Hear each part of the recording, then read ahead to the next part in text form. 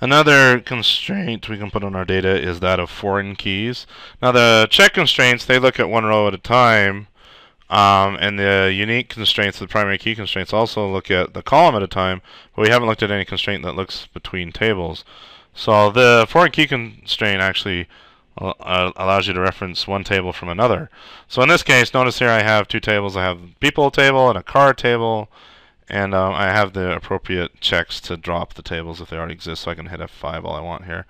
But um, so people table and card table. Now, people will own cars. Notice cars have license plate numbers. So basically, I'm going to store all the different kinds of cars. Maybe maybe my business is about uh, employees, and I want to store their car information, or who knows? Who cares?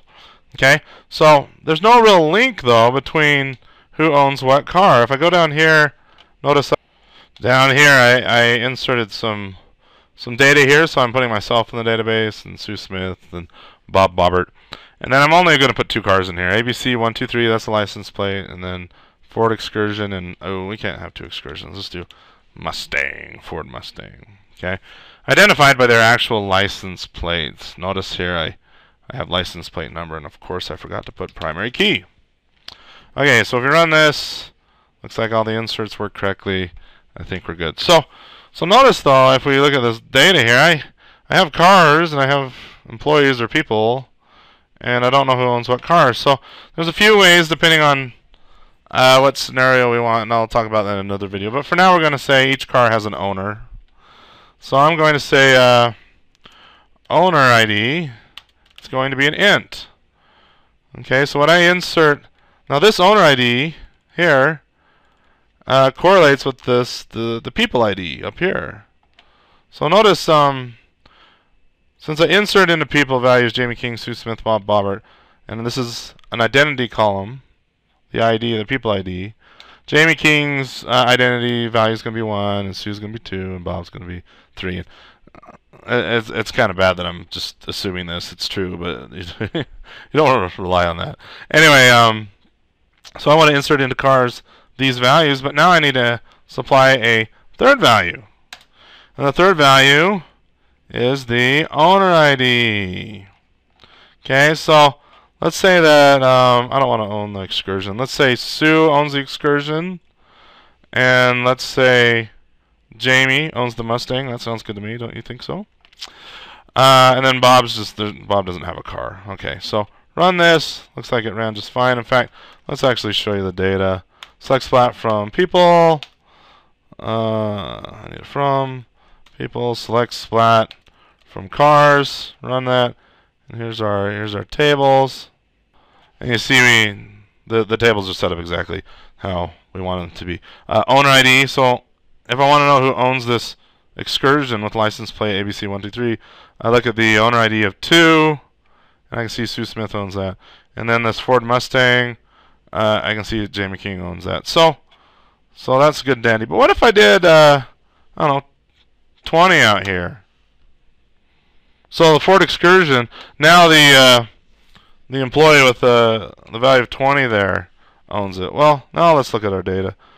So ABC123, Ford Excursion, owned by owner ID 20. If we look at our owners, uh, there's no 20. So really what we want to do is say this, the values down here, are a subset of the values up here.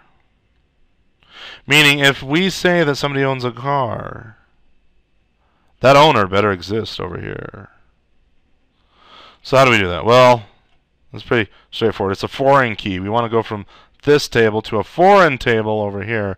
That's a foreign key. So let's go back up here, and I'm going to say um, if I remember, I can just say, hey, owner ID references. References what? References people ID. So references people ID. I believe that's the syntax. Oh, look at the problem here. And of course, I forgot to do it. There are no primary key or candidate keys in the reference table, meaning if we're going to reference a column, it has to be the primary key. So let's rerun that. Oh, look at that.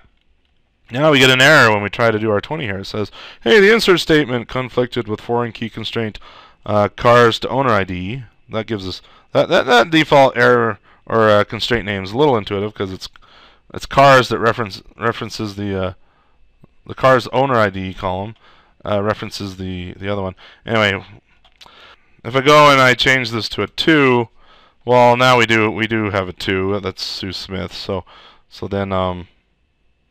Oh, this is kind of interesting. The uh, the drops here. Okay, let's take a little tangent. Sorry, but let's do. Um, up here, notice I have if object ID people is not null, drop table people. If object ID cars is not null, drop cars. So, so look what's happening here. It's basically my dropping of people failed.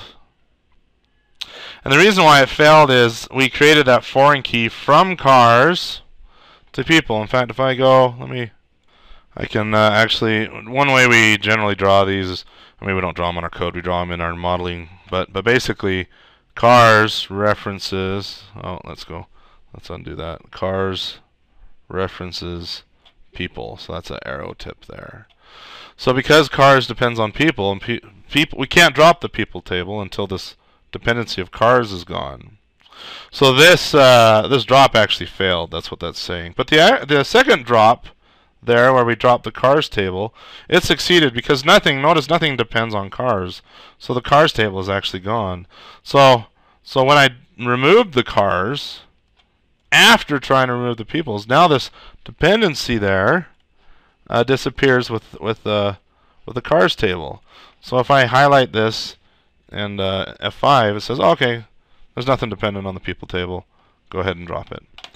So anyway, so now we uh, if I, I, can put a two here, and the two works fine because owner ID two exists. So anyway, that's that's foreign key in a nutshell. You can have uh, you you can um, set foreign keys on a table level. Notice here I def define the owner ID references people here.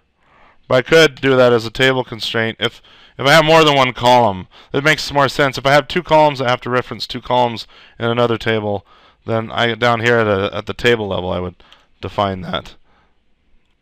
But again, it's it's all about constraining our data. We don't want owners to pop up if those owners don't exist. So there you go.